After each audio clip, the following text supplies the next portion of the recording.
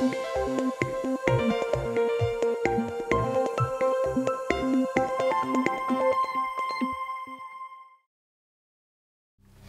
my name is Seane Corn, and I am a yoga teacher out of Los Angeles, California. Um, yoga means to come together and make whole, and it recognizes that there's no separation um, between anything, between heaven and earth, and uh, uh, male and female, and uh, mind and body. And if you understand that there's no separation between the mind and body, what this tells us is that everything we think, feel, or experience has an effect on our cellular tissue. Our bodies remember everything.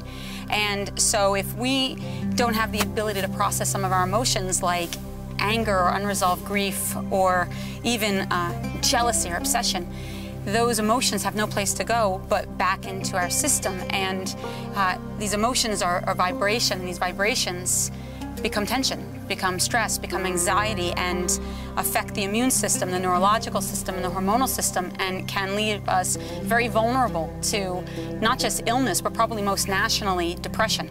And what happens is when we're not dealing with our emotions and when we're in stressful situations, very often we also hold our breath, and we do this to maintain a sense of control.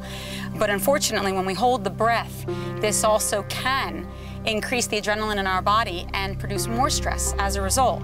And so I want to show you a couple of uh, techniques that can help to oxygenate your body, uh, increase your circulation and your respiration, and help you to feel in conflict, in trauma and crisis, that you have the, a tool that you can use to help you to stay centered and relaxed and calm so you can make healthier choices that are not coming from a place of reaction, but really coming from a place of understanding and compassion.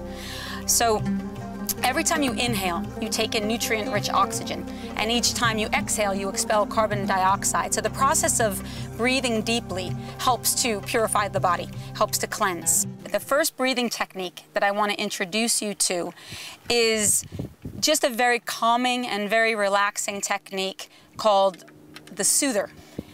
You simply take a very deep breath in through your nose, just about maybe five to eight seconds inhale.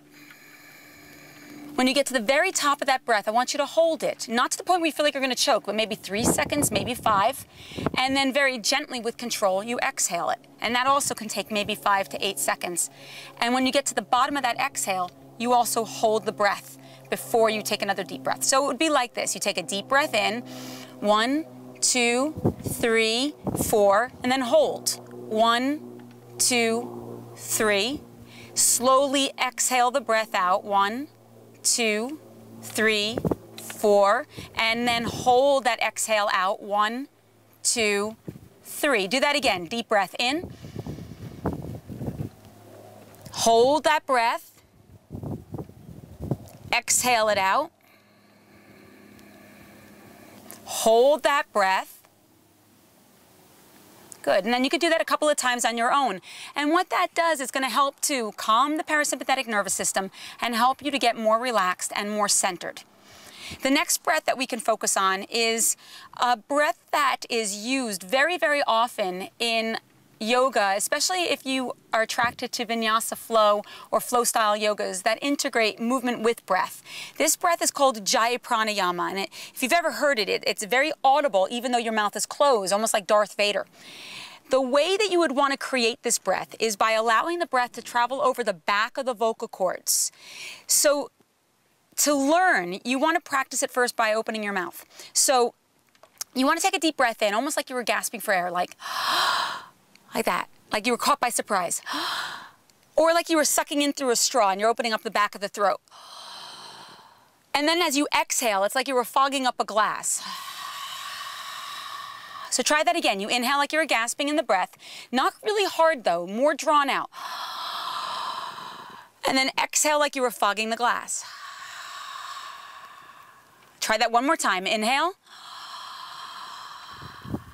And exhale. Now, see if you can do that exact same breath, but this time close your mouth. This becomes a little challenging.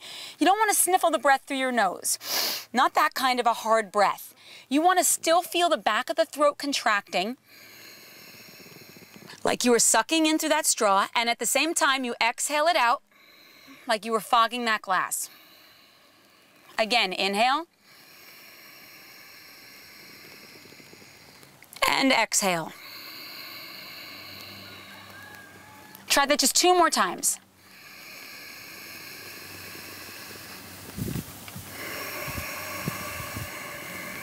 So you can really feel the side ribs expand here as the breath goes all the way down to the diaphragm.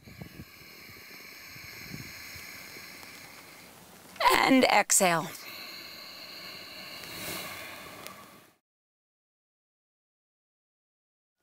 Now another breath that you can do. This breath is always a good breath. I hear from beginners very often when they get into a yoga class that they start feeling overheated and uncomfortable. But even in life, there's you, you can have experiences where you're feeling overheated if you're going through menopause and you're experiencing hot flashes, this breath is called the cooler. And what you do is you actually curl your tongue from the center drops down and the sides curl in, and you simply inhale. And for those of you who can do it, you'll feel immediately that the breath that goes through feels much, much cooler than if you were to take a typical inhale with your mouth wide open. So it's like this. And then you just exhale regularly. Do that again. And then exhale regu regularly. So with this breath, you're going to curl your tongue. And then you're going to gently just tip your chin slightly upward, not so much that your neck crunches, just enough to give it a little space in the throat. And then you inhale, you'll feel the cool air enter your body. As you exhale, you're going to close your mouth and obviously stick your tongue back in and drop your chin just slightly as you exhale through the nose. Do that again. Tip your head back slightly, curl the toe, the, the, excuse me, curl the tongue. Close your mouth, tip your chin slightly forward, exhale through the nose. One more time, chin up, curl the tongue. Close your mouth, chin slightly forward, exhale through the nose.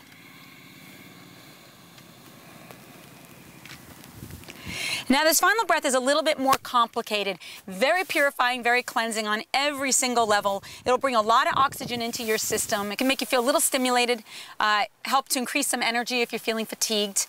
It's called Kapalabhati breathing and the other word for it is the heater.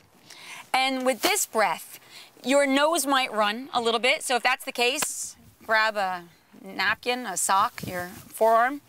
But you're gonna take a very deep breath in. And you're gonna exhale through the nose, but as you do, the diaphragm's gonna pull in and out very quickly. So the breath comes in and out in short, sharp, quick bursts. So take a deep breath in, exhale. Now you can feel the diaphragm. You can stop doing it if you're doing it at home.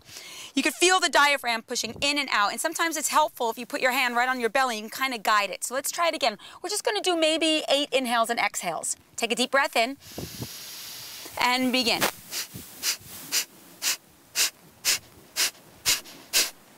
Good, take a deep breath in.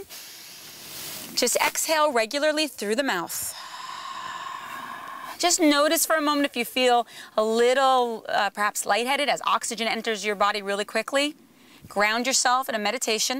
And then you're going to try that again. Deep breath in and begin. Deep breath in. Gently exhale it out through the nose this time. And then just close your eyes. Take a couple of deep breaths. Notice how you feel. Hopefully a little bit more grounded, a little bit more in your body, somehow centered. This is the way we want to approach our life.